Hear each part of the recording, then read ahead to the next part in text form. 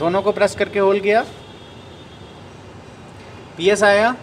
Zero cooling mode अब हम इस बटन को दबा के वन सेलेक्ट कर लेंगे। वन आ गया। अब इस बटन को दबा के ओके कर देंगे। ये ओके कर दिया। अब हमारा ये डेमो मोड में आ गया। अब हम देखते हैं। देखो ये लाइट ऑन हो गया।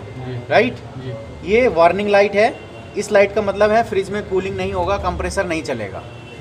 राइट सो इससे हमें ये पता चलता है कि ये डेमो मोड एक्टिव हो गया है।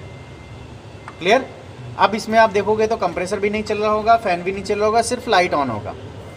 क्लियर ओके सो ये डेमो मोड एक्टिव हो गया। अब डेमो मोड को अगर कैंसिल करना है तो इन दोनों को दोबारा से प्रेस करके होल्ड करो। सिर्फ़ एक बार होल्ड करना है, तीन सेकंड के लिए। और ये डेमो मोड कैंसिल हो गया।